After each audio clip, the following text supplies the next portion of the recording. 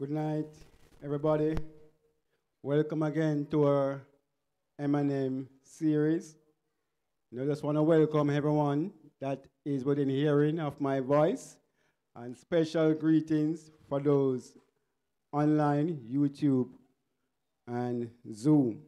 Praise God. Tonight we are once again indulged in our M&M series. Uh, we started about three, four months ago. Our first series was The Man and His Money. Then we looked at The Man and His Mission. Last month, we looked at the man and his mental health. Tonight, we'll be looking at the man and his marriage. Amen? Amen.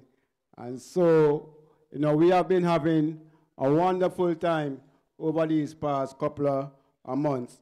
And I believe tonight will be the same. So wherever you are at this time, I'm just gonna ask you to just give us a listening here tonight. You know, if you are in your bedroom or wherever, watching television, I just ask that you, you know, just incline your ear to what we have to say to you tonight. You might just find it, you know, helpful, you know, in your marriage for those of us who are planning to get married. Amen. Praise God. At this time, I'm going to call in our pastor, and he's going to come and he's going to bring greetings to us.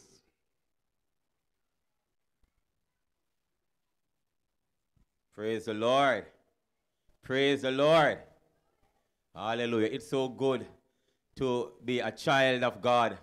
It's so good to be out in the open air to discuss some serious matters. Amen. Bless the Lord. As my brother said earlier, we have started the M&M series several months ago, and we have looked at several interesting topics. And tonight will be no different. Tonight will be one of the very very important topic to discuss. I believe every man want to discuss this topic, and every woman want to ensure man know about this particular topic. Tonight we'll be talking about the man and his marriage. Amen. And man and women, men and women view marriage different because we have different love language, and also we have different. We look for different things in the marriage. You know, a man look for respect a woman wants to know that she's loved. Amen. Am I right or am I right? A woman wants to know that she's loved. And a man wants to know that he is respected. Yes? And also, the other important thing in every marriage is S-E-X. Children are here. Who can spell? Who can spell? Cock in the ears. Amen. I want to talk about some important things that men want to talk about, right? If you talk to a woman, most time you talk to the wife, sex will be like perhaps the, if it's an item 1 to 10, sex will be like probably number 9 for, for many women, generally. But for most men, sex will be like number 2. So it's respect, then sex, and then everything else. How my sound so far? Yes, man. And that's why we need to talk about these things and many other things. So tonight is going to be a very interesting night. Our speaker is already here. She's a world-renowned speaker. She's well-known and she's very prolific. She's someone who knows how to dissect the word. She's someone who she's a great orator. She knows how to speak and make things very simple, and she knows how to keep you captivated and interested of hearing this. Yeah, man. Amen. So tonight, I want you to be attuned. I want you to listen carefully. And I want you to ask your questions. Ask your questions, man. Ask any question you have. Because I plan to ask my questions in the name of Jesus. Praise the Lord. God bless you. Thank you for being out with us. Everyone in the reach of my voice, I'll invite you to come closer so you can ask your questions. Bless the Lord. Greetings. Praise the Lord. Praise the Lord. Praise God. At this time, we are going to have our scripture reading being read. And is going to be taken from Ephesians chapter 5. If you have a Bible, you can turn with me. From verses 22 to 27. Ephesians chapter 5, 22 to 27. I'm going to read from the NIV version. Praise God. I begin. Wives, submit yourselves to your own husband as you do to the Lord. For the husband is the head of the wife, as Christ is the head of the church, his body, of which he is the Savior. Now, as the church submit to Christ, so also wives should submit to their husband in everything. Husbands, love your wives, just as Christ loved the church and gave himself up for her, to make her holy, cleansing her by the washing with water through the word, and to present her to himself as a radiant church, without stain or wrinkle or any other blemish, but holy and blameless. Praise the Lord. Praise God. Praise God. Praise God. You know, with that said, the only thing left to do is just to invite the presence of the Lord in our midst tonight. Praise God. You know, the scripture reading just laid out straight for us. You know, just as how Christ loved the church, he said that, you know, the husband should love his wife, and the wife should submit to her own husband. At this time, we are all going to pray. So I'm going to ask us to bow our heads while we pray our opening prayer. Father, in the name of Jesus, we come to you tonight. We thank you for your love. Thank you for your goodness. Oh God, we thank you for you know, your presence. We thank you for this moment, Lord, that you have given us, oh God, to speak in such a fashion as this. Oh God, you have given us the key, Lord God, and you have given us oh God, a mandate, oh God, to teach and to preach. And tonight we are obeying your words. So I pray in the name of Jesus Christ of Nazareth, oh God, that as we will come to the community, Lord God, that you will be with us. I pray, Lord God, that the words of our mouth and the meditation of our heart will be acceptable in your sight. And those who are within hearing of our words oh God, that they will submit, Lord God, and they will come to you knowing that you are a life savior. You, God, are what they need. Some of us, we feel that we need a better house to live in. Some of us, we might feel that we need a, a car. But praise God, we know, Lord God, that with you in the vessel, we can smile at the storm. So right now, I pray, Lord God, that your spirit will come by here as we seek to draw closer to you. Let your will be done as we continue to look to you by faith. In your holy precious name we pray. Amen. Amen. Praise God. Praise God. You know, as our pastor said that, you know, we have a prolific, world-renowned speaker with us tonight. And, she, you know, she'll be delivering our word. And before she comes, I just want to read a little profile of our speaker. So this is profile of Bishop Dr. Carla A. Dunbar, JP. Carla A. Dunbar, a Kingstonian by birth, immigrated to the parish of Portland at age 11, where she got married and later accepted the Lord on the 20th of February, 1994. She subsequently served the Church of God of Prophecy for 21 years as senior pastor and national family life director. She now serves as founding bishop of Life Temple Ministry International, located at Temple Hall, St. Andrew.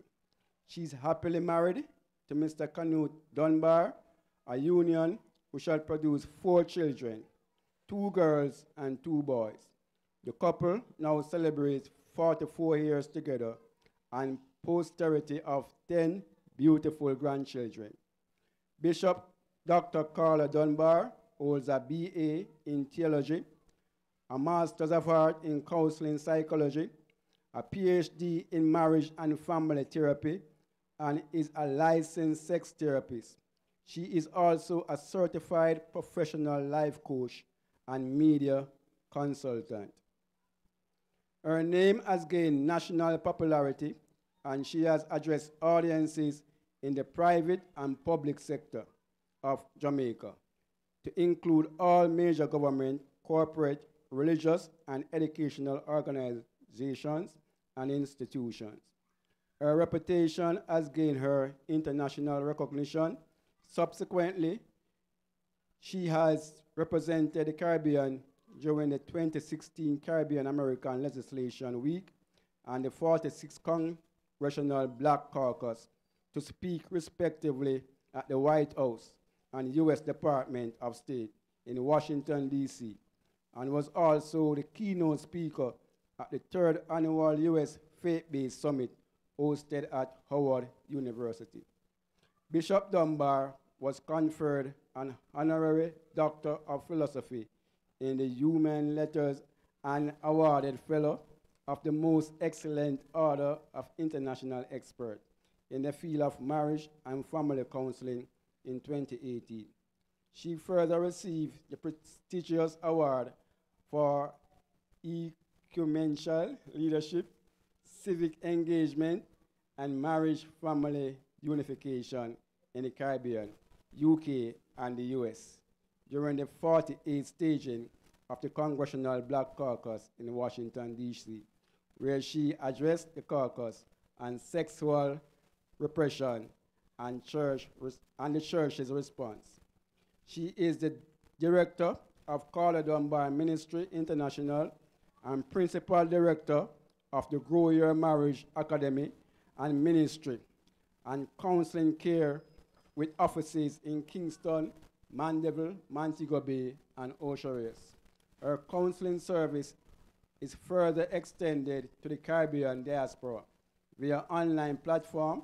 She serves the country as a justice of the peace in the parish of St. Andrew and is also the co-chair for the Kingston and St. Andrew Parish Consultative Committee for Domestic Violence.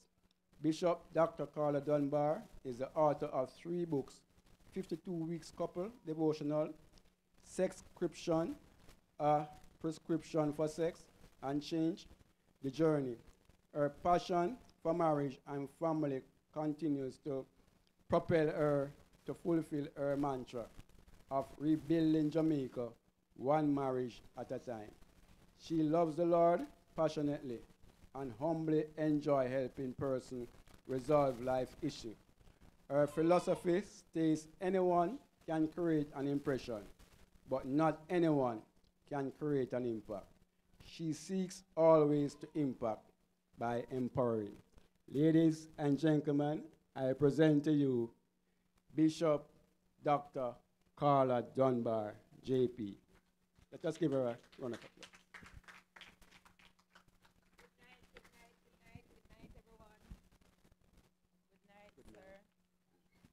take up the whole of my time. Pastor would tell you what I wanted to start with as my intro. But I can't say it here. it's good to be here with you tonight, and I hear ladies and gentlemen. But I like this song, man, you know. But they have whole imagination because, you know, yeah, you know, when I hear about men, you know, I yeah, them say my skin catch a fire. Yeah. Um, so yeah, I would have loved to. But I'm hoping that there are some men behind the walls and the houses and so that we can talk to tonight. I want to greet Pastor Damien and First Lady Walker. It's good to be here back under your leadership because I've been here before, prior to now, um, under another leadership. But it's good to be down here under this leadership tonight. And the children, on the door. What going to school?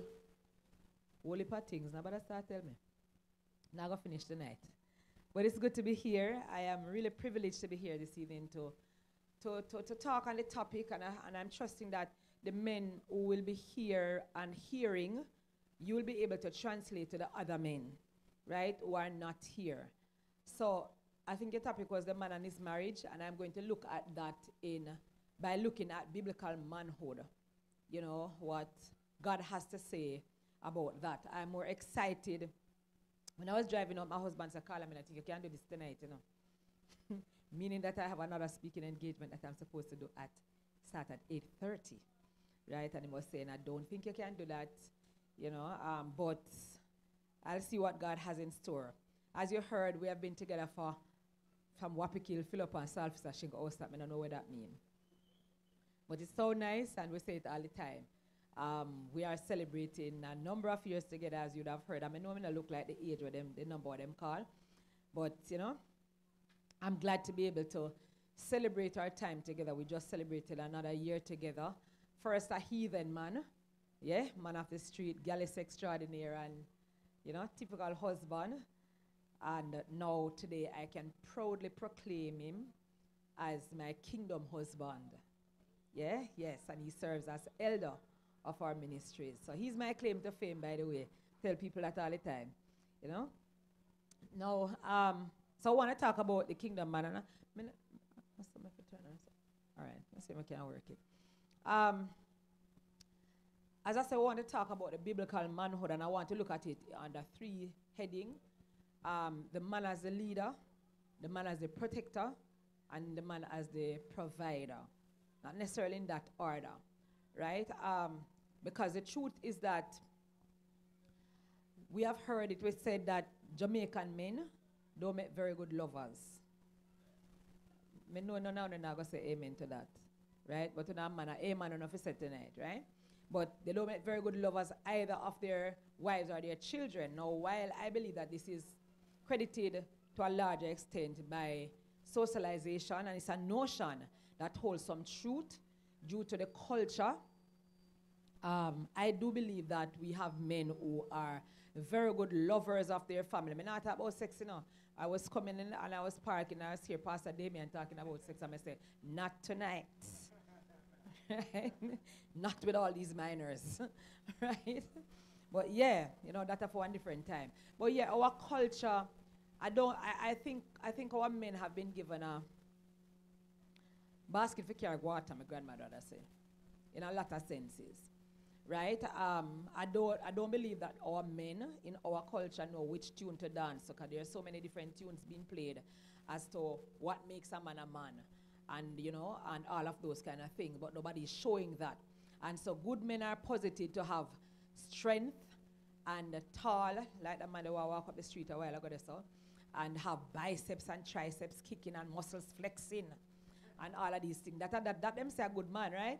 So if that were the case, by the way, my husband disqualified because he only have a one pack. no six pack around here.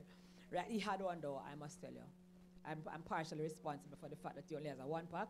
But no pastor look like same I have six pack, you know. And I go on up with himself and so. Yeah, four you have. Well, my husband have one. You understand? It's my shock absorber. When I drop into a pothole, I don't feel it. Because he cushions me, right? But I truly believe that our men in general suffer from what can be called cultural confusion. I think it's a cultural confusion because the gender socialization of our culture in Jamaica is what has created the monster of a problem that we have in our homes, where we have typically men who women cannot relate to or who they can't relate to women. Because when a man is growing up, or a boy, I hope these little boys are not hearing that, if you cry, you're ball fire. Yeah, girl. You know? And if you talk because you want to express yourself, you hear say, yeah, sissy. So you grow up thinking that you're not supposed to talk as men. You're not supposed to express yourself. And uh, that has allowed for men to grow up being a silent type. So they don't talk much, they don't express themselves much. Right? And so I believe that some of our men have grown up with that understanding that to be silent is to be more macho, right? Is the wrong understanding, right? And so we now have men who have become husbands who believe that less is more in the spoken word. And that is to the utter frustration of us wives because we talk enough. We bilingual, we trilingual, right? We talk a whole and we want man to talk, but man not talk, right? So what I'm going to try to do is to kind of unravel what I consider to be of necessity tonight, so that the men who are listening from a who and around will be a bit clearer as to God's idea. Not Carla Dunbar idea, coming I have none. Not Pastor Damien's idea, but God's idea of who a husband is supposed to be. right? Or even a man is supposed to be. Because I believe that most men, if not all men, want to eventually have a wife and settle down, you know, or, you know, have them partner and settle down. So the first thing I want to look at is the man, the leader man. The leader man. Now I know you heard my bio being read, and you heard that I'm the bishop and rete and whatever, whatever, whatever. Right? So our ministry is held on the lawns. Right? And it's just a hedge that separates the house from where the ministry is held. Right? And uh, so I am the bishop of a church. But just when we cross the edge and go over my yard, I am Mrs. Dunbar. My husband is the priest. Me take off the bishopric right at the brightness up and leave it. You understand? Because I am not supposed to be the priest. A queen can never be a king. Ever. It, no matter what we try, it cannot happen. Right? So the king who was created in the class of kings to rule is the man. I believe that with all my heart. I am not a feminist. I believe it's a man for rule, man for run things, man not for run round things. Man is a man, man is not a money queen. You understand? That is my personal belief. So I believe that is what it is, right? So a man is really is, is, is created in the class of kings to rule and who he is and who he is to be and the responsibility that God has called a man to. You understand? For this understanding to be penetrative or to be of penetrative worth, it must be clear. So we need to understand that it is from the male that the female comes, it no matter how we take it. It is from the male that the female come. God, I, I like to believe, and the ladies here, you must agree with me, right? That God created man, but he fashioned females. So we're a little bit more feline, a little bit more softer, a little bit more gentle. I know you have some, what do you call them? Some man royal woman, you know. You understand? I am not one of them, right? Me gentle. Right? So, yeah. So God create man. That's why I look so. No shoulder 17 shoulder. And you have biceps and triceps and foot calf. And them something they will stand out. Right? Um, we are different. Right? We are feline and curvaceous. Not true, no, my sister? Yeah, we, we, we like to boast our 22, 44, you know, 22, 28, 46 kind of thing. That's our vital statistics. Right? And so, and we love tenderness and so you see like how Pastor find a give lady melody, right? Because you understand? Um, and probably wouldn't do that for a man, man. Go get your own chair. That is right, which is right, right? but, but that is what it is. God, God, God created male and he fashioned female. And so it is important to understand the distinctiveness of the preparation of what we call the Homo sapien man. You understand me? No one never like hear that word, and that's a probably wrong word for call about the place. So. But Adam himself was the firstborn man, and Adam was created a complete man. Adam was not created a little boy like these little boys and allowed to grow up. When Adam make him done make, him fully make, standing on all three feet and everything. You understand? all other men, however, have to become men. You understand? But Adam was made a man. Right? God created him like that. Right? But the intention of God was that all men be of kingdom representation.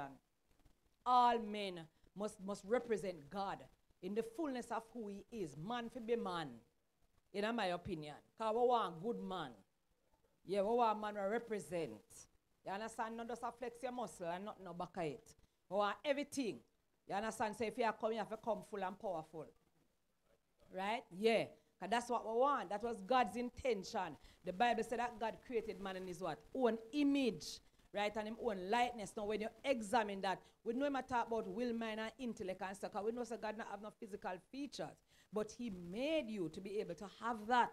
And that was supposed to distinguish you from us, the fairer sex.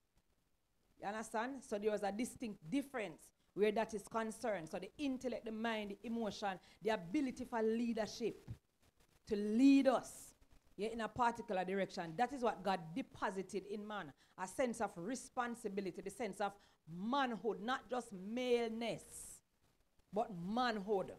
Because there's a difference between manhood and maleness. And I don't think we're, that, that, that's one of the things we're not understanding. Right? So God deposited into man a sense of manhood and he created man for dominion, for a purpose, for rulership, right? And governance. And so a real man knows where he's going and, and is able to, to, to lead persons and carry them along with him. We want to follow you because you know shot you go. Because blind can't lead blind if somebody are lost. Right? So we want real man. Right? We want man who understand how to lyrics way. Yeah. You have a check Solomon, you know. Right? Man will know how to lyrics way and get us on board with them going after whatever goals they have and show it to us clearly so that we can see it, so that we don't feel like we're fumble we about life. You understand? Because I, that, I said there's a distinction between man and maleness. You understand? Because me know say Adam fall, right? Right? Real man know where I go. Me know say Adam fall and everything like that. Right? But I believe that there's a sense in which as wives we are being forced to wear the pants. I mean I talk about the pants here. Because this pants is clearly a female pants. Right? Because female pants different from man pants. Right? But you know, forcing us, I think there's a sense in which we feel forced to, to, to wear the pants, to become leaders in our home. Um, you know, when that is not God's ideal. You understand? So we have to do something about it because guys who father a child outside of marriage are males, but you're not necessarily man. Yeah? Guys who live with a woman and you can live with a woman and she meet all your need, but you know want marry her, you're a male, but you're not a man. You understand? That's all that's basically all me see it. Right? Guys who, you know, force your wife to set the direction for the family. You're male, but you're a man. Because I know we for set the direction. You understand? You're stretch way. It's a good thing so we stretchable. One word goes so, I even know if one word goes so. yeah? Yeah. It's a good thing so we stretchable, man. Yeah? I'm a pastor, but as I say, I am my husband's bishop, but I don't lead in the home my husband is the head of my home. Me not have no problem with, with my position, you know, me's a neck. My husband a head, me a neck. Me know him can't turn without me. It's important. So him need me. But me need him to see where me supposed to go, me, there, direction. Me need him to hear from God, to tell me what God say. You understand? Me need him to speak and to speak authoritatively but lovingly so that me can feel the love when him talk. I'm not fearful. I'm gravitate towards him, not singing just a closer walk it thee, but I want to get close to you. You understand? So we need to understand guys who believe in having multiple sex partner and refusing to practice things like chivalry and breaking girls' heart and say you're a male, but you're not man. You're not a man. Because real man not do them something there. You understand? I know that we have a, a kind of lack in rites of passage in our culture as to what really makes a man a man. We're kind of lacking. We have that, that, that, that little void in our society. We try it, it, God go fix it. We don't worry ourselves about it. You understand? But leadership is the mark of a real man. Leadership, may I say that again, loud and proud. Leadership is a mark of a real man. We want men who will lead us. We don't have no problem if you are lead way and we can switch that you're carrying us to. You understand? God gave man dominion over everything in earth, on earth, under the earth, and everything because God Himself have dominion. You understand? And if man is made in the image and likeness of God, then we have dominion over with domain. That's why I may say, man for run their house and for run around it. And for run it. Because man and man and man and a money queen in a store. Praise God. You understand what I say? man there. you understand? Uh, so we understand, you know, when Adam failed at his leadership role, Adam failed at his leadership role. And the Bible say, no, Pastor Damon, as in Adam all sinned and all died. And I believe what has happened is that there's a spiritual genetics handout. You understand? When Adam stepped back and give Eve leadership, me think all men just automatically step back. Because if everything is done in Adam and through Adam, it happen. You understand? And this is why we have the problem we see now, where it seems like the women are more proactive and the men are very reactive, and the women, you know, them them aggressive and the man them passive. Me, me preach Sunday at church and me I preach about David and me tell him say me love my man them tough and tender. You have to have like a tough and like a tender. So so tender, but so so tough neither. You have to have a good balance. Balance is important, especially in our lives. It's important to balance. You understand? So we want tough man, but we want tender man. So you have to have a little bit of tough, a composite of tough, and a composite of tender. So as in Adam, all sin, and so the authority of men was usurped, and women took lead. And God has used the availability of women. That's why women like myself have become pastors and so forth and so on. And in corporate organizations, women are CEOs. I did a study. On my first visit to the White House, I was asked to speak on the economic advancement of women and its impact on the family. And when I did my research, I realized that 60% of Caribbean women are CEOs. 60%. You know, that was quite alarming. What was even more alarming for me was to find out that because they have become CEOs and they are out there in the working world, this is where we see the influx of sexual abuse happening in the homes with their little children because they are no longer supervised by the nurturer who is supposed to be in the home. The nurturer gone out, gone look it. And so them something happen. That's why man have to lead man. You understand? Because we need to be protected. The law of physics is cause and effect for every action is an equal or greater reaction. So if that happen, we must have the reaction that we are having today. You understand? Because it was not truly meant for us to become providers in the sense that we have become that way. You understand? But I want to talk a little bit more about that. It wasn't meant for us to be the way that we are. You understand? Because it's not that we are supposed to be subordinate. Now that may I talk about. You understand? But we want to be able to look up on man them, whether them short or not. We want to can look up to them. It's not about how you height. It's about what you carry as a man or you act as a man or you make me feel like a woman. So we want a man, real man. You understand? We want a man, man. We want a real man when you just have flex now, biceps and triceps and a profile and a pose like double six when you are really double blank. We want a real man. Women want real man. We want that thin line of balance to be struck between the two, right? We are not able to balance power, and that's one of the problems because power has been given to us as women that was not supposed to be given to us like that. That is what happened when Adam stepped back, you know, and make Eve in a particular way was not thrust upon the woman. Like me tell you, no, me no sexist, you know. Me no feminist. Me sexy, but me no feminist. You understand? Me not a feminist. No believe say a woman is supposed to head the home. You understand? I am dying for the day when men regain them rightful place in society, in the church, in the home. You understand? Where we can finally have things one certain kind of way. I don't know if that happen. God did tell me, I, I, I believe God.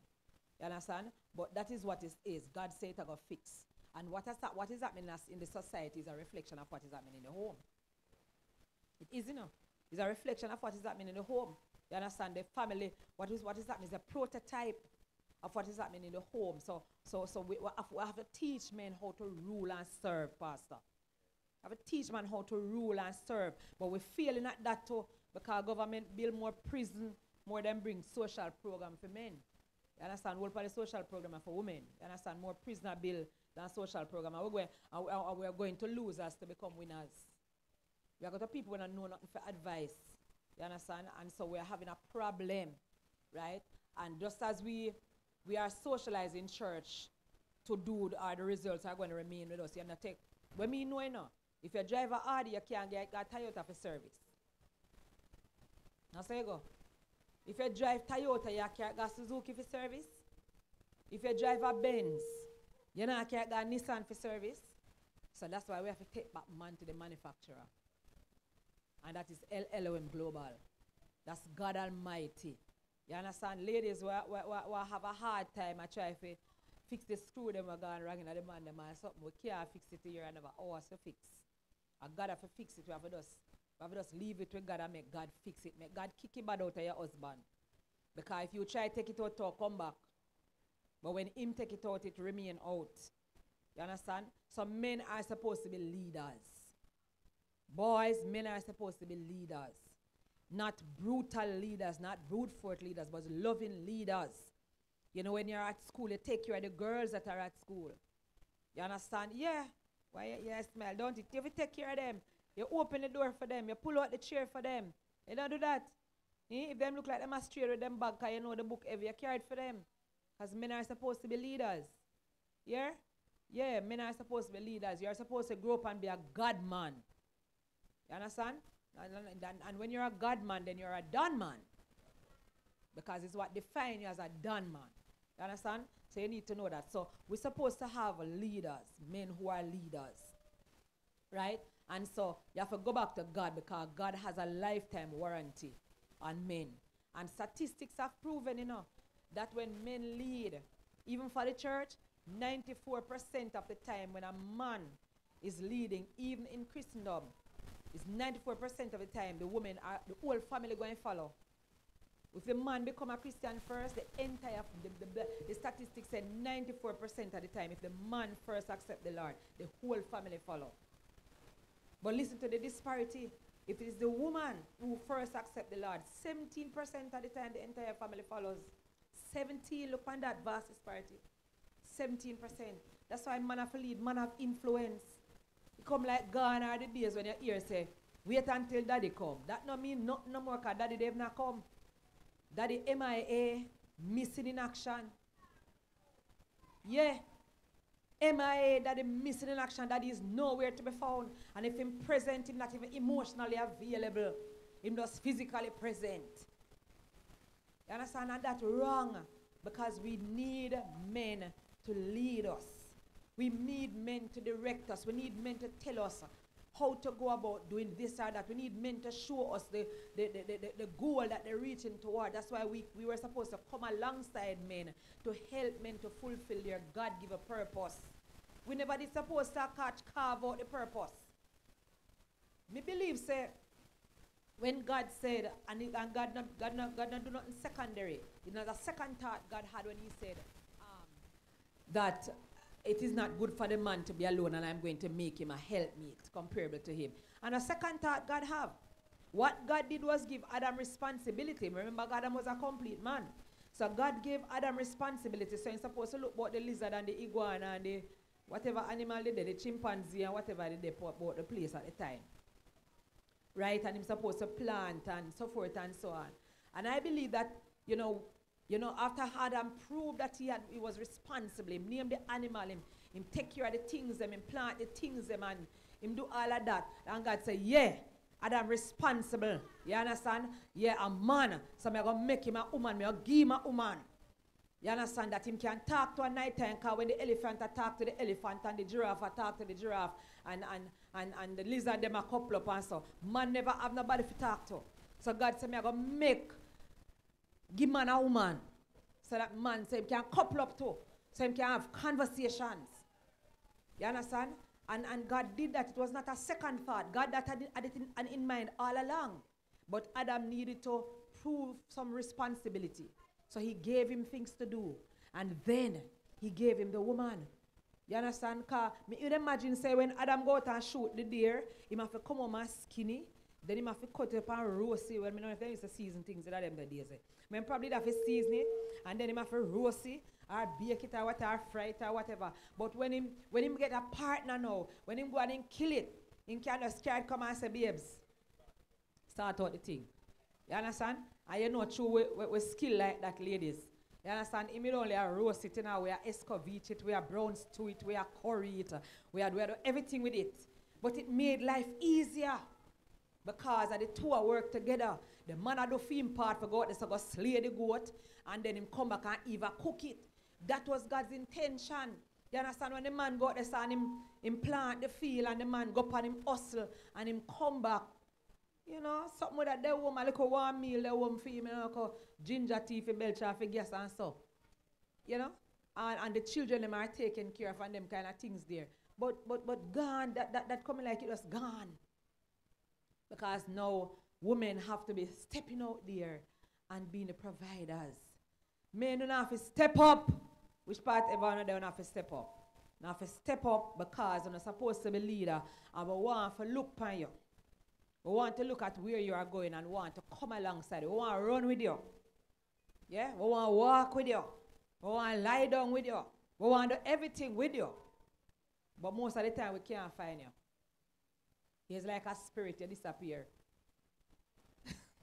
come back, come back, come back, come back. Pull like a disappearing. So it's like a spirit man, you disappear. You are supposed to be a leader and show the boys how to lead. How are your sons going to know what makes a man a man? Where you show him, say you have a dozen women, and that is what makes a man a man. None of that make a man a man. And you soon come sit down in my chair and ask my office keep standing.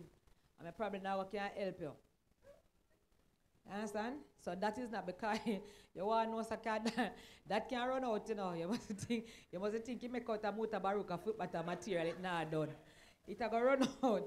And a muta baruka foot butter material, it make out it going done. You understand? Women have the capacity, not the necessity. We're not done, you know.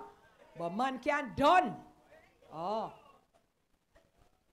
So, may I say, men, step up to the plate and be the leaders that you are supposed to be. We want leaders. Want men who will show us the way. Want men who will speak up and speak out for us. Want men to have conversations with. Want men to share how our day went with. Want men to talk about our children with. We don't want to talk to ourselves. You understand? And then we have to have a bag of company because you're not listening to it, so we have to get some more people to talk to. That's not what we want. We want to talk to you. Yeah, me tell you, I have a man, you know, was a girlist. You understand? Yeah, out there. I bad up himself a road, but you know it pays to advertise if you have the goods and may have the goods, same come back. But anyway, moving right along. Yes? Elder of my life. Yeah? And giving God thanks. So men, you are supposed to be leader. That's biblical manhood. That's what God wants. God wants men who are leading. From before, you cannot lead from behind. You lead from before. You lead with love. You lead with compassion. You lead with gentleness. You lead with a sense of responsibility, understanding who you are and who you belong to. Whether or not you come to God or whether or not you believe that God make you, him make you, you're going to answer to him at some point in time because when God came calling in the Garden of Eden, he never said Eve. Him said, Adam, where are you? God is going to come and ask something. By the way, God never can't find someone no No, not turning ass out or something. But anyway, so the leader man, I need to get out of here, right? The leader man, yeah? Man a leader, man a leader, man a leader, man a leader. Yeah? Man a leader. I'm sure you have seen that in Pastor Damien down here. Man a real man. Of course. Man a real man. Understand? Then there's a provisional man. Man you provide. Man you get up out of bed and go work so that bills can be taken care of, so that children can be taken care of, so that woman can get a Brazilian ear.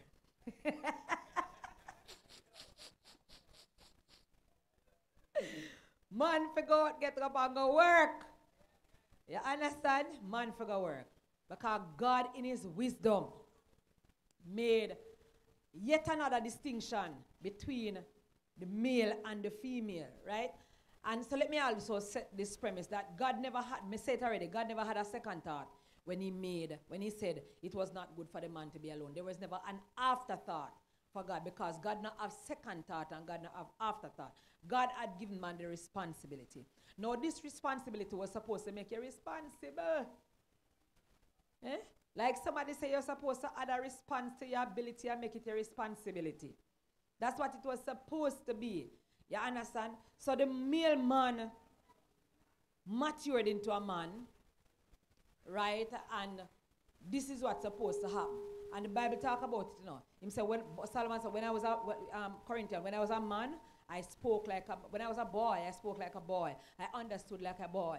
Right? I acted like a boy. But when you become a man, you can't continue to act like boy. Boy a boy and big man a big man. You understand? Right. Boy a boy and big man a big man. Right? So man think like man. Right? And God said man was supposed to be responsible. Right? And Adam, I would believe, managed well what God gave him the responsibility over because he was created, like I say, as a king to rule. He was created in the class of kings to rule. So it was in so much that God now says the king man handling his responsibility well, which comes first for those of you who are not yet married, being a responsible person. Now rush go take up now woman. Yeah, and uh, you know, you know, ready for that because women come with responsibility. You have heard it said that we are like ambulances we want, want, want, want, want. And it ain't no joke. Right? So yeah, you have to be responsible first. A prerequisite before you can have a woman. You need to be responsible. You need to have a job. Yeah? You need to have a job. You need to have a profession. You need to do something. Whatever it is that it is in your influence to do, you're supposed to be doing something before you want a woman. Because sex can't eat. Yeah? That can't go on the table in a Pyrex dish. A food go on the table in a Pyrex dish. You understand? So that is not the end all and be all as delicious as it is. Right? So it becomes no good for the man to have someone who he can relate to and share and so forth. Right? And so it is clear that women have the ability to distract men. Because here comes Eve, and then Paul says, that's why Paul make marriage out to be a problematic plan B. Right? So Eve come and she told Adam, you know, let us go and do this, and he followed her and he did it. But one of the most explicit passages in the Bible gives uh, the outline for what man is supposed to do. Man is supposed to provide. And as in Ephesians 5, you see where man is commanded to love. You know, easy for man love, you know. Man is not a natural nurturer. So love not come easy to a man. Love is easier to a woman because a woman is a nurturer. A man is not a nurturer. That's why in Ephesians 5, God had to command the man to make sure say you love your wife. Make sure you love her in a sacrificial way. Make sure you love her in a priestly way. Make sure you love her in a provisional way. Make sure you love her in a protective way. It was a make sure situation. It was a command to man to, to do all of these things. So one of those ways in which the man is supposed to love the woman. You hear me, brother? Have to provide. You understand? Yeah. So you have to can provide for a woman. You can't just want to take up a woman because we're in a buto. You understand? We, we, we have needs. So you're supposed to have the ability to provide for us. And you're supposed to ensure that it's, a, it's an ability that it's something that you do with joy and pride. The fact that you know so you can you can go out and you can match up your thing and you can you can hone your hustle and whatever it is that you are doing, and you are able to come home and, and provide for your family. Me tell men all the time, it's not how much you earn, it's what you carry home and put before where I give it to us and say, babes, that this I have. We know to match that out and plait it and throw three partner out of it and tie up. Me tell woman never broke yet. Oh, me shouldn't say that. Should not have said that. No, you go off to know which part with things there. Eh, I want to know which things there. But that's true. If it is that you own your hustle and you do your thing and you come and you give us something, we know what to do with it. But you're supposed to can provide, man. You're not supposed to want a woman if you can't provide. Understand? We don't want bag juice every day.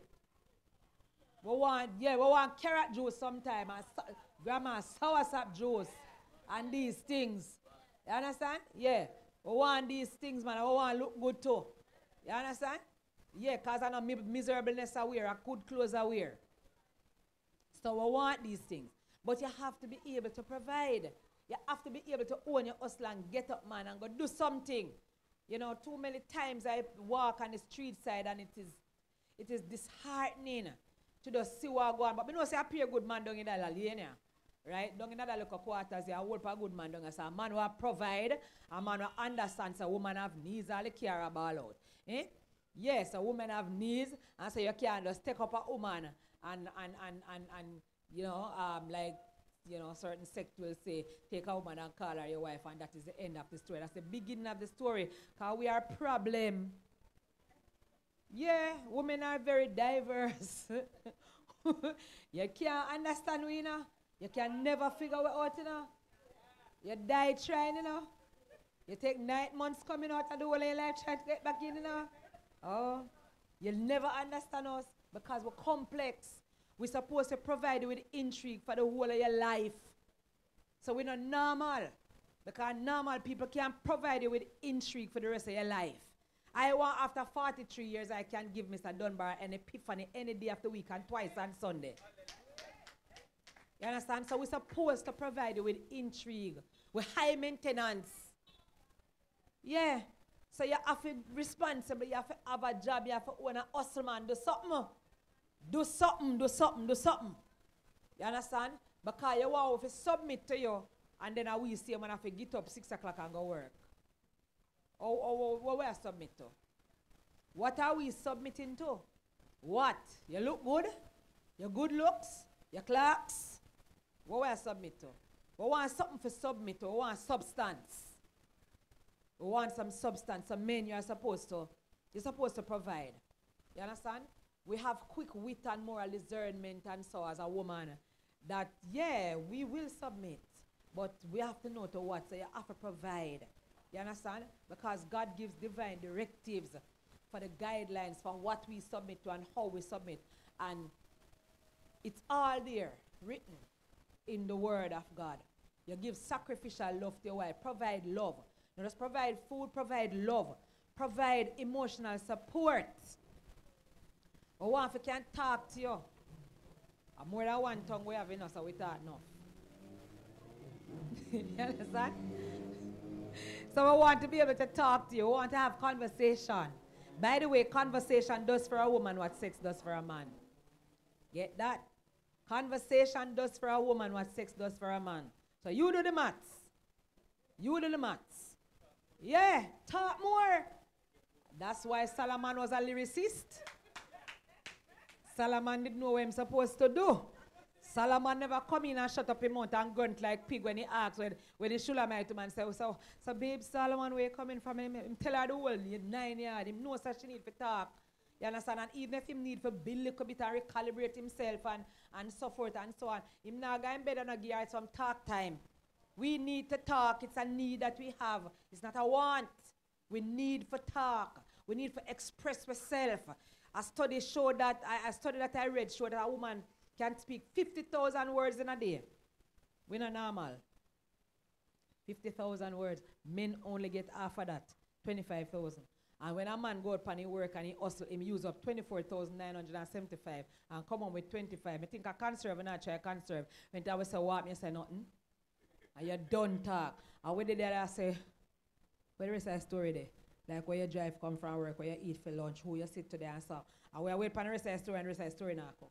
Because you try to conserve upon your 25 word and we have 25,000 more. We still need to use up before the night done. But if you're smart, you'll allow us to use it up because you say if, if tomorrow ever come, 50,000 add to that we left. That is why we regurgitate so much. That's why we can't remember things from happen from three months down the road and bring it back and tell you when we have an argument. Because it pile up. No make it pile up, brother. Use it up, make we use it up. You understand? And you want to tell us, look how long that and gone. It is still inside that you never make we let it out. A year bad. We never talk about it. We have to talk about it. Because if we not talk about it, it not going away. It not go dead. Girls talk more than men most of the time. Most of the time. Right? Not only is it cultural and a, and, and, and, a, and a problem of gender socialization. I just saw God make we, we lingual. Eh? We have to la la la la la la la. Oh, glory to God. it, it is just important. Yeah? So you want to provide emotional support for the woman. So it's not just food. You carry the money come or you carry the food come. And you dash it down. No. We want emotional support. You understand? It's supposed to give us that the Bible talks about purifying love. You want you don't want her to do nothing that is going to cause her to feel like you're defiling her or you're causing her to do anything that is going to cause her hurt. you know, either in her emotions or physically or otherwise. You understand? The purifying love is one of the things that you're supposed to provide for your wife and your children.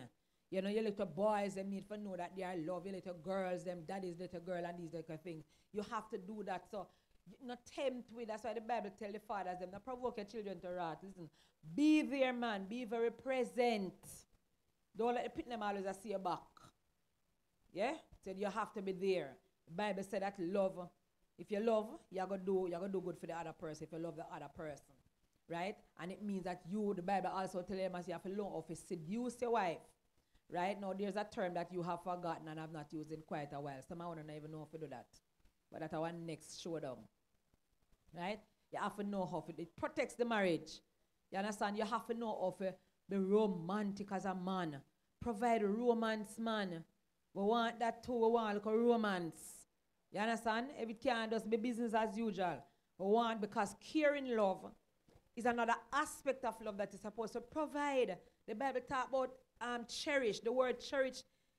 We grew up in the country. The word cherish denotes like a hen sitting on her egg and keeping it warm. We want to feel warm. That's what I tell my husband, me I'm under, me I'm underarm deodorant, me ever under arm. Yeah. Me I'm underarm deodorant. We want to feel cared for. You understand? Like I said, we're a little bit more tender and softer and more feline. You know what me believe, Pastor Damien? If when God did put Adam under the anesthesia, when put him under, for perform the surgery, to take out Eve out of him. If when Adam did get up in him, see somebody look said just like him, 17 shoulder, bicep, and in a drop back asleep, you? So God had to ensure that what he saw, what, that, what, was, what was a sight for sore eyes, not the cause of sore eyes. A sight for sore eyes. You understand? Same if you see somebody will look feeling and nice and, you know, yeah, curvaceous and all these things. You understand? Breast standing up like twin towers and legs look like all these wonderful things and these things and so forth and so on. You understand? Look good and so. You understand? So, so you, you, want to look good, you have to take care of brother. Take care of us. You have to preserve the beauty. You understand? Preserve what you want. Preserve it. Because the time you take a run next door and a run over the fence because the grass look green up on the other side, you know, say a woman can cook 20 different, one meat in a 20 different way. Because we skill like that, we good like that, we can serve you anything you want. Anything. You don't need to go nowhere. You understand? We can serve you whatever you want. You don't need to go nowhere. You understand? You just need to stick with we, and you just need to love we, and you just need to show we say you love we, and we can serve you anything where you want. We can cook tin mackerel in a 100 different ways. We can cook sardine in a 20 different ways. We can do cook chicken or chicken. No mention chicken. We cook chicken in a 1,000 different ways. Yeah? Whatever you want, we can give you now. You have to care for us. You have to make we know say you care, man. You can't just uh, go on so. You understand? You have to provide a secure environment for us. When your wife needs strength, your woman needs strength, give it to her, man. You know, want one one thing. When we need strength, give it to us. When we need encouragement, give it to us. You understand? Whatever we need, you are obligated as a God man to supply as best as you possibly can. Yeah, because God chose you as the man to provide. So you have to do it. You understand? To nourish and to cherish and to ensure that the children that's why I'm saying, do it like how do it for the church. He provides. So you have to provide too. You understand? Me say we can't work. I want economy we in a no way to a way for bounce it out and so forth and so on. Right? But it can't be that you want favors. You want your wife to be there for you sexually and otherwise and so. In the Bible, a woman's sexuality is like a garden. If you have a garden, you to take care of it. A weed, take it up. Whole heap weed, take it up. You have to take care of a garden. A garden takes tending to produce its best fruits and plants. So you can't want the garden to provide you with what you want the garden to provide you with. Garden for look good. And you're not putting no work in the garden. At thorns and thistles are in it to joke you. So you get born. Eh? For a garden to do its own a proud, you have to work, man. It takes effort. You can't get a good garden overnight neither. And so if you allow the garden of your wife's sexuality to, to run wild, then you know where you're going to get. And when you get, you have to go take. You understand? You not get nothing, as a matter of fact. Not even look a catch and queen, no look a nothing, no look a picture frame, no look a nothing, no look a roast duck, no nothing, no look a escovitch, nookie, nothing. Mighty God, you need to buy one I book here. All of them position in I book in. Glory, hallelujah. Praise Jesus. Hey, mighty God. Yeah? Oh, glory. you understand? You don't want to give up in this spirit, gentlemen. You want to make sure, say, I take care of the wife. You understand? Because if you want roast duck, you have to take care of the wife. You understand? If you want escovitch nookie, you have to take care of the wife. If you want catch and queen, you have to take care of the wife. If you want picture frame, you have to take care of the wife.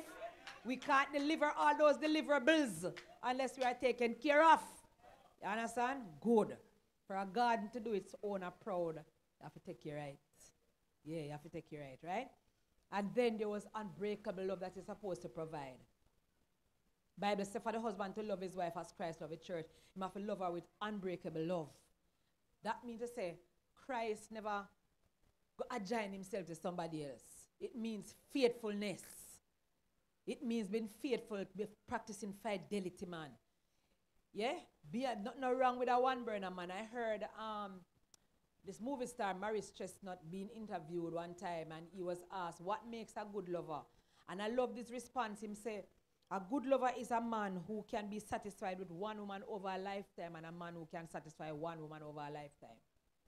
Not no wrong with a one burner, man. One burner burn good. You know? One burner burn good, man. Nothing wrong with that. You understand? So you don't have to have multiple burners. You understand? As a matter of fact, when I just one burner, I'll store with there, with go and good. And the problem now is that we have six burners and all these things. You have to know, men, that your union with your wife is permanent. It is permanent. Right? When you when you got married or whatever, you decided to leave and cleave, it's supposed to stay so. And so you, and a woman want to rest in the security because every woman married for security. Every woman. They with you for security. But I think so we there with you because you look good. Because we are not aroused by what we see. You could have looked good till you drop down. We are not aroused by what we see. Women are not visually aroused. We are aroused by how you treat us. You are visually aroused. That's why you look on us and you are standing on all three feet. Because you are aroused by what you see and what you touch. We are not like that. No matter how you look, it's all you treat with that arouses us. It's not what, what, what, you, what you look like.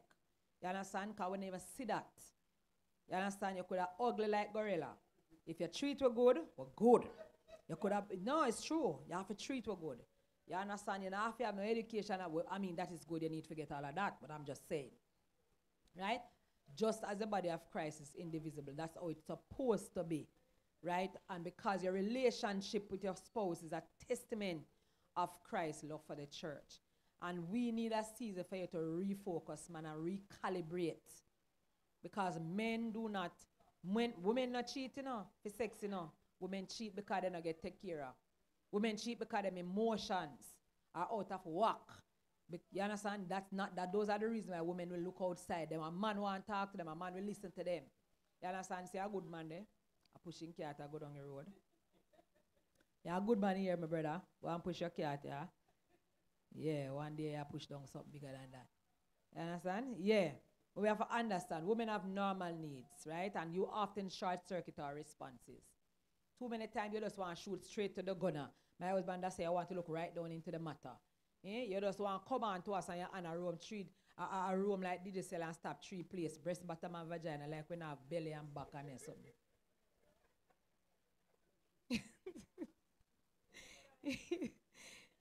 So, you need to be a provider. That's all I'm saying. Yeah, man, them and around and around. Three places stop. Like, I want to have sense in the man, them on. I just three places, just stop three places. Breast, but then I pass the abdomen, pass everything, bottom, vagina, that's all. Pass and go down with two and come up back, man. Something, something, something. Provide, provide, provide, provide. That's what I'm talking about. The provisional man. So you have the leader man who leads from before, who guides us in a particular direction. Then you have the provisional man, provide.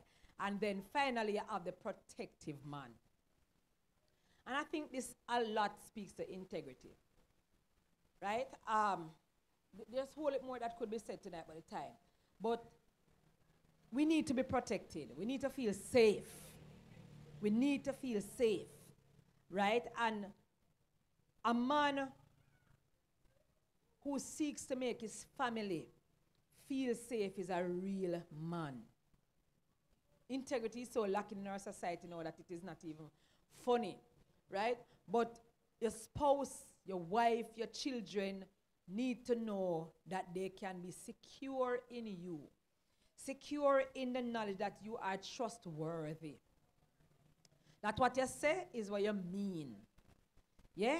That we can hang on to your word and know, say, you mean what you say. If you say you're going, you come back, you're going, you come back. Yeah, you're not lie to it. You're not try to tie it like we're a goat, because we're not a goat, we don't eat grass. You understand? But you are being truthful to us. And we can trust you, your character stand, your integrity stand. Yeah? Father, I want to tell your children so you're going to do something and not do it. May I come check you, man. Yeah, may I come look for you. May I go buy this here. You know you're not do it. And you give the children them false promises. Children are not impressed with hypocrisy. And that is hypocrisy. You understand? I believe that. You see, if me, when my children them a grow up, if I promise them a beating, you them bless my days, no, so them I get it. You mean I tell us me I gonna beat you, you get it. You get it. Just like if I promise you something good, you're gonna get it too. You understand? Children are not impressed with hypocrisy. Don't girls? You want when daddy tell you say, them a go and come back, them a come back, don't? And them a buy you something, them a buy you something. Tell them to top tell lie. Your father do it. Good father you have. Big him up tonight when you go over and tell him. Say, Daddy, I love you. Yeah. You understand? Man, you stand up to them word. Because if you cannot be counted on men, then you can have little positive impact in our lives. Your word must be good. Let your yes be yes and your no be no. You understand? You will not be trusted with greater responsibility. Me not gonna trust you. For everything you tell me it no work out. If you tell me say yeah come home 8 o'clock or 2 o'clock tomorrow morning, me no see you. Me can't trust you. Can't trust you. We want to trust you. Kingdom man keeps promises. God keep promises. Kingdom man keeps promises. You understand? Kingdom man follow through. No make promises to woman and your wife and your children, and you have to love them and to honor them and to cherish them, and then you know follow through. Remember, me said God I go come calling, and him not call Eve. Not call Eve. Why? Because we supposed to follow the leader, leader, leader, follow the leader. You understand? So we want men who are upfront and honest with us. Because when we continue to get disappointments, we get frustrated. It runs deep. Disappointment runs deep into the heart of a child. It runs deep into the heart of a woman.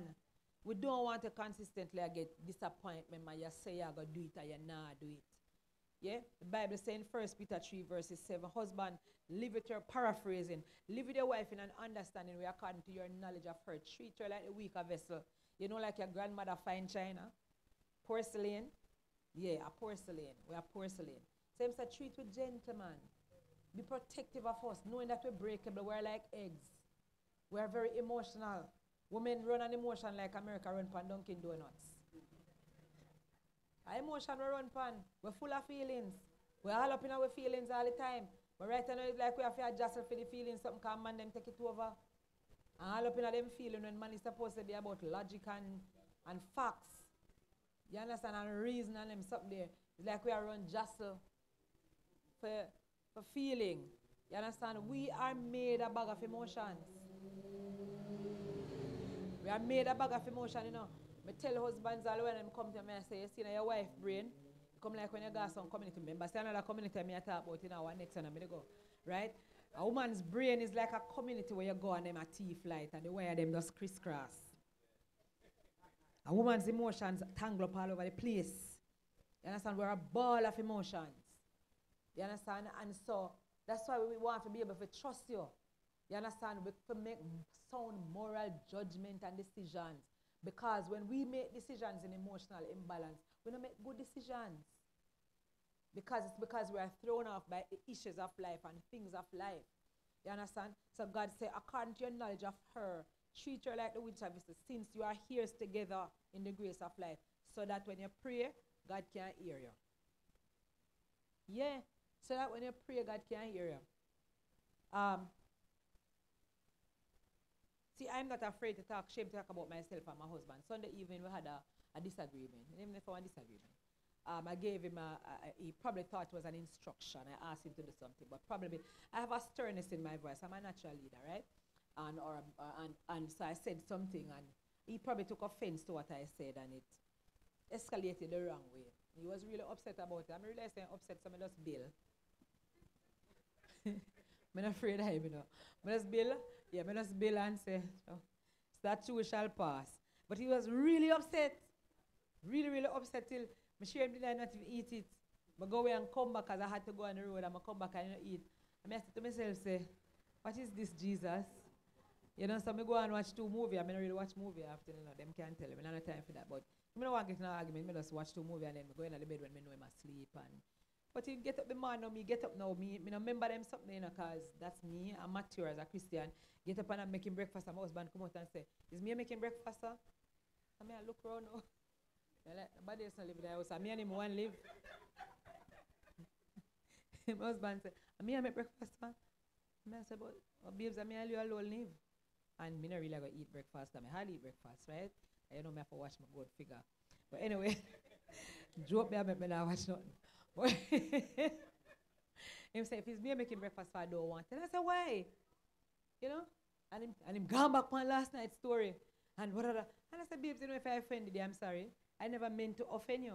But me I go get up and do my duties. This is one of my functional role. Me I go get up. I've been making breakfast for you for 40 odd years. Where you think me I go stop now? You understand? And I say you are upset and there's a point where you are wrong and there's a point where I am wrong. Right? So if I've offended you, I'm sorry. I never meant to offend you. But there is your breakfast and there is your lunch because my husband now eat tasty patty for lunch. Me I give him meal. You understand? Me get up once I'm home, I've given him his meal to take to work, both his breakfast and his lunch. I say, here is your breakfast and your lunch. And I say, and him still I say, baby, I have devotion this morning? I know sometimes I put on my bishop voice. You have because he, has his devotion religiously. And say, you have a devotion this morning. I could have a devotion and still vex me. You understand? Because like me to say, you know, you're not what God said to you this morning. Say, baby, I could never. You know, I say, you know, you know, have the devotion this morning. I never really have a devotion because I'm still vex. You understand? And me just, uh, you know, I just go in my room quietly and I just go in and I say, God, you don't need to start this out I know this cannot happen. And I just pray quietly, even if I know, say, me I pray. And by the time I get up and go to the kitchen, him take up him lunch and him breakfast, and him pack him bag, and him go to work, and him come back in the evening and talk to me like nothing ever happened, and I just go like nothing ever happened either. You understand? You know, teeth and tongue must mean it, go and meet, and it after meet, and after teeth and tongue meet, you make it up on the sheet. Glory to God. Hallelujah. You understand? Oh, my time Melly. All right, good. So I'm saying you have to live with your wife in an understanding way, you have to, and it involves mutual submission. And prior to commanding wives, God tell the man what to do. So we have to understand what to do. Be considerate, husbands. Be considerate in your protective role. Understand that it speaks to the sensitivity of your wife's deepest physical, emotional need. Yeah, my husband, like I said, don't understand me fully, but he's not meant to understand me fully because we're supposed to provide him intrigue. So do it. Be considerate of your wife and your children, right? Talk to them right? And remember, you have to love your wife like your own body, because the Bible said nobody, no man not eating body. So you can't eat your spouse body either. Right? And be chivalrous. That is a lost art. I hope these older men are teaching these young guys here how to open the doors and pull out the chair and all of those things. Yeah, do these things. Carry a bag. Nothing wrong with carrying a bag. You understand? It's, it's okay. Why have to carry a bag? You understand? You have to do you're supposed to And be a companion, man. Be a companion. Treat your wife with, with respect, with love. Um, wives don't necessarily need respect, you know, we need love. When we feel love, we feel respected. When a man feels respected, he feels loved. You understand? Because man want, man need respect, women need love. Once we get love, once you love us and we know say you love us, yeah, we're good. You understand? So love your wife, cultivate companionship and friendship. When me say cultivate, you know what cultivate means, because God talking an agricultural term. You understand? Dig up the soil and plant two seed, man. Something. You understand? Cultivate companionship and friendship. You understand? That means sharing your life, sharing thoughts, sharing, you know, whatever. Cultivate that kind of a friendship. Not just, and for you, Christian men, not just praying and attending church. You understand? One of the secrets of a happy relationship is finding a commonality. I tell couples to create habits, right? And move in your wife's direction. As I said earlier, we are more complex, we are more comprehensive, we are more internal, right? So you need to know us. Marriage begins with a promise between a man and a woman, or a man and his wife. And so, husband, you have to get into your wife's hearts. If you get into her heart, you can't get between her legs anytime.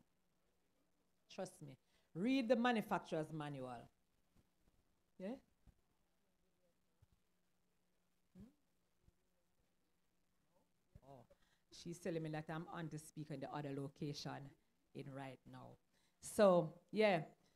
Um, yeah, read the manufacturer's manual, which is God's manual, right? And, and, and know what is it that your wife needs and understand that relationship desire, it, it, it, it needs a compromise. So pull in I'm a pull in, right? And there's much more, as I said, could be said about the intricacies of what is supposed to happen. But be the leader, be the provider, be the protector in your homes, to not just your wives, but to your wives and the children and those you have responsibility over and leadership over. Be the influence of God in our lives. And trust me, you'll have a happier life because them have a little saying we say happy life, happy wife, happy life. You understand? So if you want a happy life, you need to have make your wife happy. All right? God bless you. Thank you. I am finished coming done. I am finished for this particular time because I they are waiting on me to teach um, in another class. So God bless you and thank you so much. Praise the Lord. Thank you very much, Bishop Dunbar. Um, I know we have listened and we have heard, but I'm wondering if there's anybody with any question. You can, I know she had to leave, so you can just come and ask a question.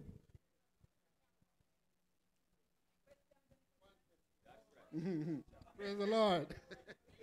I know I didn't hear wrong in the middle of the conversation. You said that a husband should give the wife everything that they want. But I didn't hear you say the wife should give the husband. No, but you should say the wife should give the husband too. But you didn't say that. No, you didn't. So tell Man, the wife. take the man. Tell the wife. Wives, give your husband, but listen, what they need. But daddy, look on this now. Are you supposed to give first if you lead by example? I always give. You always give. So how make you not always a get? Ask. See what's the matter. Wife, give to the husband. Not yes. Look here. Let me tell you something. Me I got done now. You can't lock shop. Because when you lock shop, supermarket what might have wider variety. All right, thank you. Very, anybody else?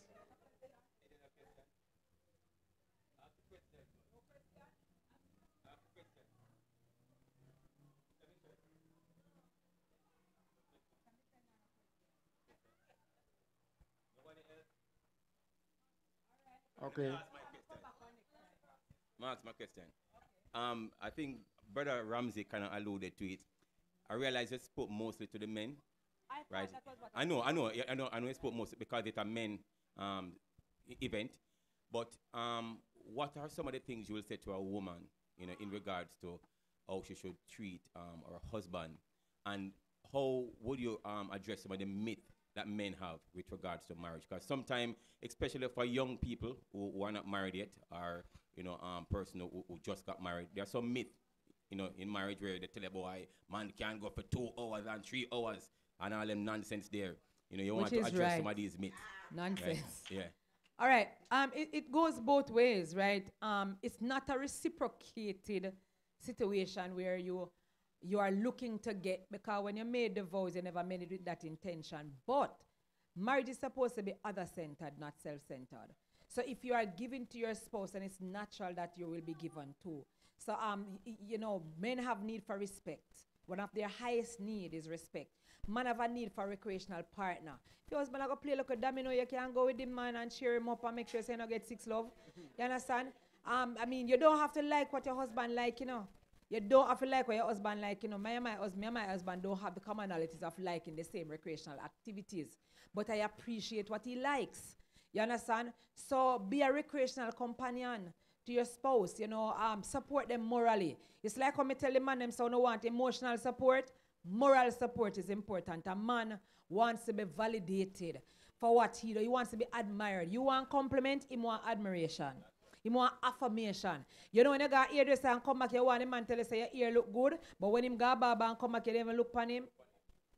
You have to affirm him. You have to tell him saying look suave and nice. And worse if the aftershave mix up with the clay sweat. Woo! Glory to God. Hallelujah. Praise Jesus. You understand? And those those, those things that Pastor alluded to are really myth for true. I mean, me not say a man who can't do that still, and me not say, you understand, because there are things. But I'm just saying, there, th- th- that's why premarital counseling is so important and postmarital follow-up. Because you see, you see a vehicle, a motor vehicle, like them regular carrier, them need servicing. Every now and again, you have to service them. Marriage needs service. That's why I opened the online academy. I have an academy online called the Gym. The Gym, G-Y-M, is to grow your marriage academy. I teach single persons how to make proper decisions about their lives and, and, and transitioning and how to accept self and how to serve God in singleness. I teach husbands by themselves how to love their wives and wives how to speak. So your husband will listen a lot of the time. Husband can listen to a wives because we mouth man and we talk with this day and we talk down to the men them and all of those things. Right? But we have to learn how to control ourselves so that God is pleased with our actions as well. Right? And so I teach M&M's, which is not chocolate, but just as sweet, marriage maintenance courses. Right? Because you have to sustain your marriage. My husband and I didn't get to 40 odd years. We came through many dangerous trials and snares, like the, the hymns of glorious praise or the banner say. Right? Um, but we have made it because we have, you know, collaborated together. So don't listen to everything when you hear. And uh, listen, think that when they're on Google, people put them on there, you know. Don't make them deter- dictate your life. I'm not saying that there's not good information up there, but get information. Do- Who you take counsel from, it's important that you take counsel from somebody we know. You can't go to somebody who divorced seven times to save your marriage.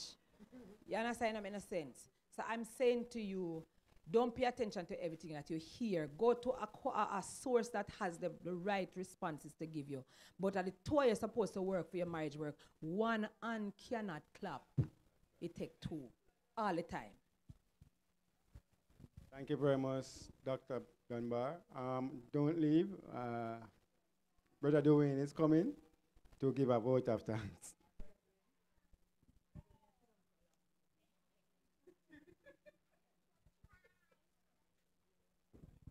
All right, good night, everyone. Um, I just want to say thank you to Dr. Carla Dunbar.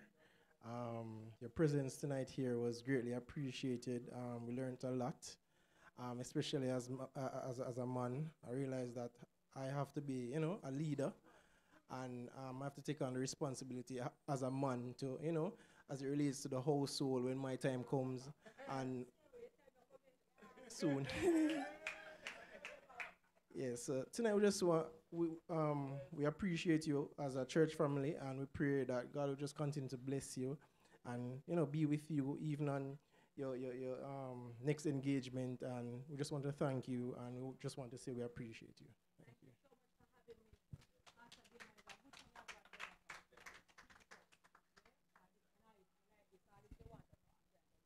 you. Amen. All right, we are about to close now, but uh, no, we have to collect the offering. Is there any ushers around?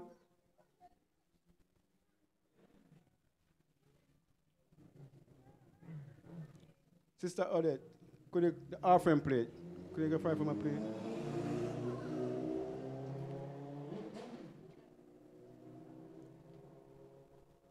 All right, don't leave the offering. We are have to collect an offering.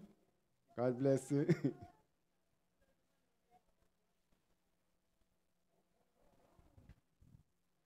can sing a song in the meantime, you know. Yeah. How can I let him down? He's so good to me. Sister Ramsey.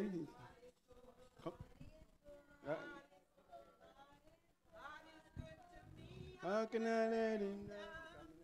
How can I let him down? How can I let him down? He's so good to me. Oh, he picked me up and he turned me around. Plant my feet on higher ground. How can I let him down? How can I let him down? He's so good to me. Oh, God is good. Yes, He's good. God is good. God is good to me. How can I let Him down? How can I let Him down? How can I let Him down? He's so good to me. Oh, He picked me up and He turned me around. Plant my feet on higher ground. How can I let him down? How can I let him down? He's so good to me. Bless the Lord. Praise the, praise the Lord. Praise God. At this time, we're just going to formally close out our M&M series for tonight. I'm going to say the benediction. Let's all stand. Uh, praise the Lord. It is time for the benediction. And now, may the abiding grace of our Lord and Savior Jesus Christ, the love of God the Father, the full fellowship of the Holy Spirit, the Comforter, rest, remain, and abide with us all, both now and forevermore. Amen. Amen. A night well spent. Praise God. Praise God.